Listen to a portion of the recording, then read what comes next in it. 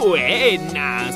Un día como hoy, hace 217 años, llovía y en aquel entonces pintó rebelarse contra los españoles. Pero todos sabemos que si fuera hoy con lluvia, la gente se olvidaría de cualquier opresión real, se pondría un pilotito e iría al cine. Así que veamos qué hay de nuevo allí, chicos. Vamos hasta el Triángulo de las Bermudas para ver Piratas del Caribe. No es un documental con la ruta del dinero K o las empresas offshore de Mauri. Esta es la historia real de un español, el capitán Salazar, interpretado por Javier Bardem. Muere en manos de unos piratas y su fantasma luego sale a vengarse y matar a todos ellos. Jack Sparrow, ante esta amenaza concreta, sale a buscar el tridente de Poseidón, que obviamente es la única forma de salvarse, ¿no? ¿Cómo podría sino un marino inglés escapar de la pericia de uno español? Chicas encorsetadas pero que hablan de ciencia para generarnos un conflicto moral y anular cualquier crítica. Y el monito de Ross Geller que sigue teniendo más éxito que David Schwimmer. Y vamos hasta Para ver Perdidos en París. Ahí está esta chica Fiona que recibe una carta de su octogenaria abuela pidiéndole que vuele a París, donde vive desde hace 40 años, a rescatarla porque quieren internarla en un geriátrico. Pero todo es difícil porque ella es torpe y vio algunas pelis de Buster Keaton y otras de Jean-Pierre Junet y pierde la mochila, pero se la recupera un linchera del que se enamora o no, y la vieja sigue perdida en París y ella también. Y muchas combinaciones básicas de